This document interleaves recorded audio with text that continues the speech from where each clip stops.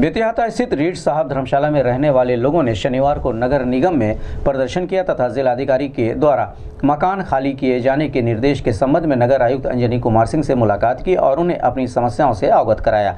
प्रदर्शन कर रहे रीड साहब धर्मशाला के लोगों का कहना था कि पाँच पीढ़ियों से हम लोगों का परिवार उसमें रहता है, जिसके एवज में हम लोग नगर निगम को किराया भी देते हैं। लेकिन गुरुवार की को जिलाधिकारी के विजयंत पांडे ने रीढ़ साहब धर्मशाला को खाली करने का फरमान जारी कर दिया, जिसके, जिससे वहाँ रहने वाले लोग भयभीत हैं। इस संबंध में वहाँ के नागरिकों ने शनिवार को नगर आयुक्त से मुलाकात किया और उनसे अपनी समस्याओं से अवगत कराया, जिस पर नगर आयुक्त ने आश्वासन दिया कि संविधान के दायरे में रहकर ही कार्रवाई की जाएगी। इस संबंध में गोरखपुरी संवाददाता से बात करते हुए रीढ़ साहब धर्मशाला के निवासियों ने कहा, नहीं नहीं नहीं नहीं नहीं नहीं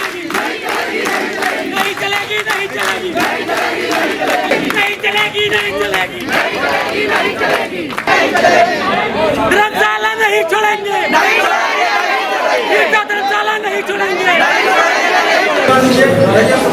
जैसे आरती हो रहे हैं ऐसा कौन का खाली कीजिए और सर इस लोग कहाँ जाएँगे।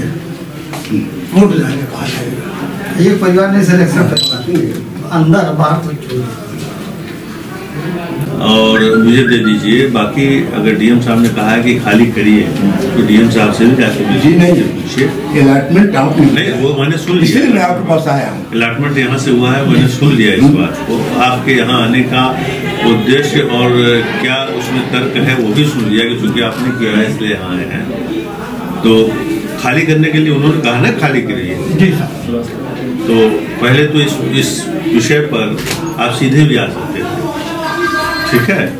मतलब उतनी तेज आवाज़ करने की ज़रूरत नहीं इतना ये लेके आए अरे सुनिए बात। रखना है। तो इन सबों की लोकतांत्रिक और गैर लोकतांत्रिक तरीकों की आवश्यकता तब पड़ती है जो सामने वाला सुन ही नहीं रहा हो। यार मना कर मना तो रहे हम लोग हम लोग कोशिश यही करेंगे शांतिपूर्ण ढंग से हर काम हो। साहब रोड पे कोई हक वो नहीं हुआ। केवल ये था कि अरे तो एक आदमी की बात यदि आपका कोई राइट बनता है तो इलीगल तरीके से आपको डिस्पेंस नहीं किया जाएगा ठीक है? हम यही चाहते हम भी। और हम भी यही चाहते हैं। हम सब लोग इस संविधान से और संविधान के मुताबिक बने। लोग खुद जो है मतलब कि खराब नौ दीवार वगैरह खुद मेंटेन करके रह रहे हैं। आज तक कोई इसमें अंदर कोई डैमेज नहीं है। बात थोड़ा होती है क्योंकि बिना परमिशन के बाद हम लोग मेंटेन नहीं कर सकते हैं। हम लोग उस टाइप कहें कि अगर पक्का पक्का होगा कि क्यों ऐसा करें? हम बिना किसी नोटिस के मेरी सर से हमें कहा जा रहा है कि छोड़ के खाने के दिन क्यों? मेरी पैदाइश यही हुई है मीडिया भी जाएगी भाई मीडिया भी जाएगी मीडिया नहीं मीडिया भी जाएगी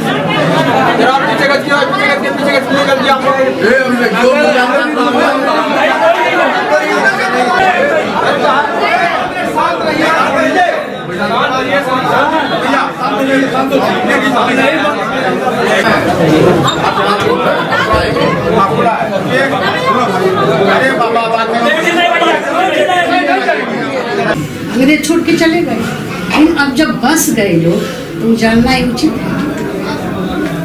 जानना जब वो गिरता था, पलता था, टीना में हम लोग रहते थे, चूता था। तो बताइए, हम लोग कहाँ जाए उसको छोड़? साल से रहना है हम लोग आपकी उम्र तो इतना नहीं लगती है। अरे नहीं वही बात इनसे कहे वही बात आपसे कह रहे हैं कि अगर आपका कोई कानूनी अधिकार बनता है तो आपको ज़बरदस्ती हटाया नहीं जाएगा। ठीक है? नगर आयुक्त क्योंकि हम लोगों को आवंटन नगर निगम से हुआ है वो अधिकारी है इसे पहले मिलना है कि हम आवंटित सारे लोग हैं और रसीद हर महीने में किराए की देते हैं। हम लोग रहते आ रहे हैं अपने मरम्मत करा करके आज तक। तो वह बात क्या है कि क्यों हमको कहा जा रहा है कि आप खाली कर दीजिए? क्या क्यों क्या है पूरा मामला? क्यों आप लोग किस चीज़ का विरोध कर रहे हैं? हम लोग विरोध करें कि क्यों हमको कहा जा रहा है खाली करने के लिए? डेढ़ सौ साल से रह रहे हैं खाली ज़बरदस्ती क्यों कराई जा रही है? हम नियम गए थे। तो डीएम तो हमको अब अलर्ट नहीं किया अलर्ट किया है नगर निगम ने। इसलिए नगर निगम में हम आए हैं कि आपने अलर्ट किया है। आप हमसे हर महीने में किराया लेते हैं। बात बात क्या है कि क्यों हमको खाली करने के लिए कहा जा रहा है। दुकान खाली करने के लिए कह रहे थे कुंज बिहारी गुप्ता। हम लोग यहाँ पे रीठा धर्मशाला में सौ साल के लगभग हो गए हैं रह रहे हैं हम लोग अवंटी हैं। सारी हम सुविधा नगर- सारी सुविधा नगर निगम दी हुई है नगर सीवर वो सीवर की पानी की लाइट की सारी सुविधा दी हुई है। उसके बाद ये अचानक डीएम साहब सत्ताईस तारीख को आए हैं कह रहे रीड साहब धर्मशाला खाली कर दीजिए। ये कोई औचित्य नहीं है कहने का उनका। इकसठ परिवार उसमें रहते हैं। सड़क पे जाएँगे। हम लोग नगर निगम को टैक्स देते हैं रसीद कटती है हमारी। क्या वार्ता हो पाई है नगर आयुक्त साहब नगर आयुक्त साहब से बात हुई है कि वो कह रहे हैं कि नगर निगम के बारे में भी सोचेंगे और आपके हित में भी सोचेंगे। दोनों के हित में सोचेंगे। ये तो कोई औचित्य बात नहीं हुई।